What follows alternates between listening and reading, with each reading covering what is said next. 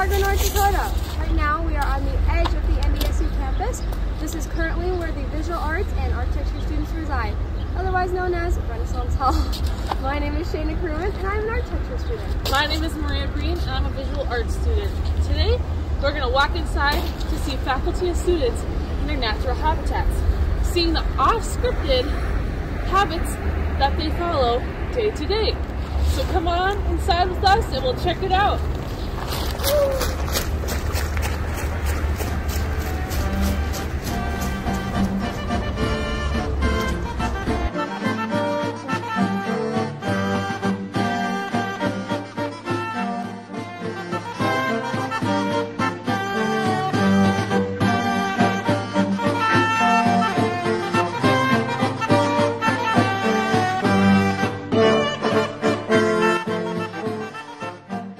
My name is Cassandra Tweed and I'm a graphic design major. Well, I'm an art major with a comm minor, so it depends on, sometimes I'm at Renaissance, like on Mondays and Thursdays, I'm at Renaissance all day, but then on Tuesdays and Wednesdays, I'm on campus most of the time, but I'll usually get here around 10 a.m. and then have a fresh cup of coffee and see what I can make.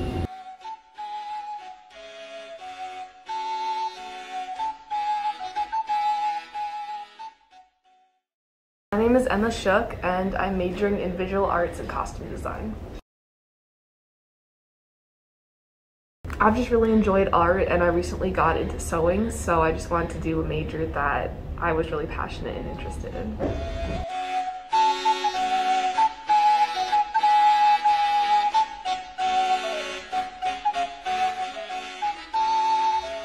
I'm Jane Scott. I am a marketing major with a minor in visual arts. Make sure it's something you want to do. Don't just take it because, in, in your opinion, may be easy. Because if you aren't, um, if you don't have a passion for it, these projects are going to take a long time. And also, do not wait. If you're trying to do it the night before, you won't get it done. And the teachers are super cool if you actually do stuff. And I always ask for help. That's some of the biggest. Uh, advice I would have to people thinking get into it. Have a passion, make sure you're a timely matter, and let's just have fun when you're in the class.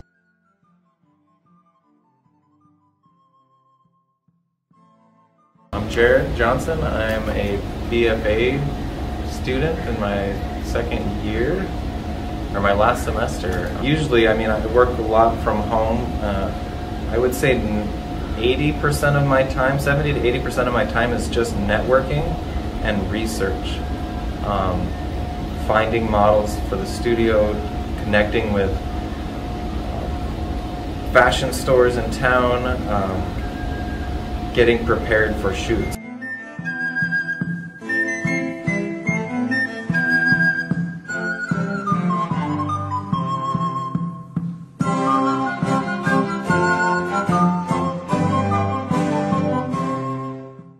My name is Jared Kasemeyer. Um, I'm a fifth year in architecture here in the master's program at NDSU. I didn't know I wanted to be architecture at first. Um, mentors talking to me really uh, pushed me into architecture. Um, I love the math and, and iteration and design, but you know I didn't find as much of that in engineering. Um, so I really uh, pushed for architecture, and today I'm extremely happy that I did so. My name is Greta Bleeker. I am an architecture major at NDSU in the master's program.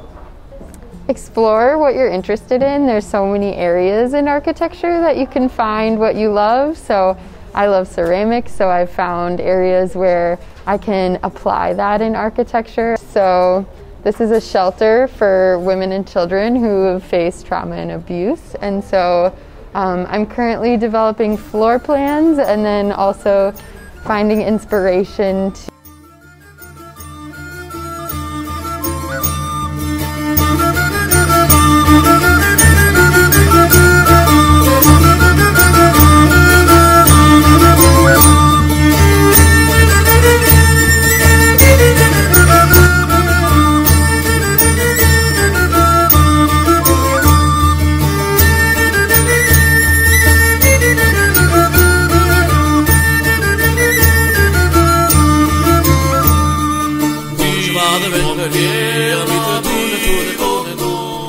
Morgan Chandler. I'm a BFA major with an emphasis in graphic design. It's going back and forth between art, English, music. Um, I actually almost picked music, and then last minute I was like, no, I want to do graphic design. I designed some t shirts for my class in high school, and I was like, yeah, I want to do this.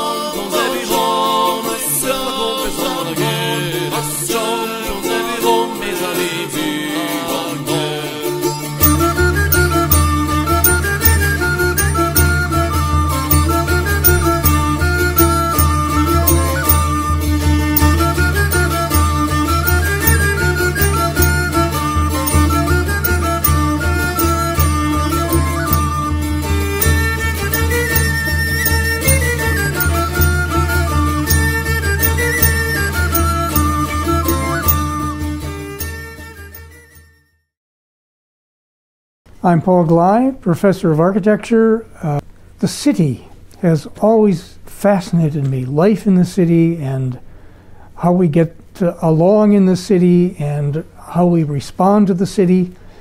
And the city is all about architecture. And that's why it fascinates me, and that's why I want to teach it to others.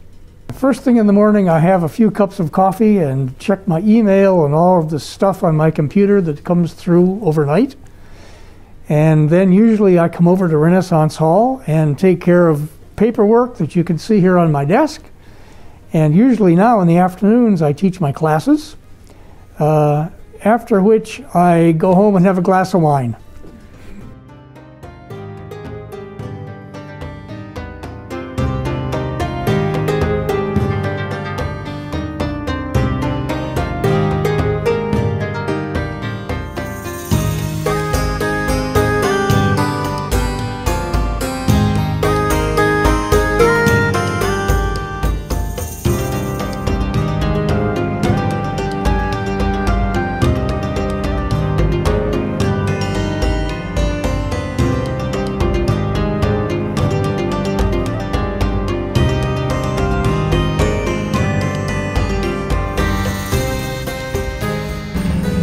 Hi, camera. My name is David Spencer. I'm an associate professor in visual arts and part of the School of Design. Advice to me is don't get locked into one thing too quickly or worry about developing a style. I would just sample everything until you fall in love with something and then just really go go into that. Like eat, sleep, drink, dream that thing and but be also be open to other media that you know might be interesting along the way. Because when I was in school, I you know was primarily taking ceramics, but I also took a lot of photo classes. I took painting, I took drawing. Um, didn't really take many sculpture classes in undergraduate, but when I got to graduate school, I started teaching myself how to carve wood and really got into sculptural things. And I didn't really start welding until I until I started teaching here, and then taught myself how to weld, and then took some additional classes. So I mean, you might not know how to do something, but don't don't uh, corner yourself into into into one vein. You know, be open to different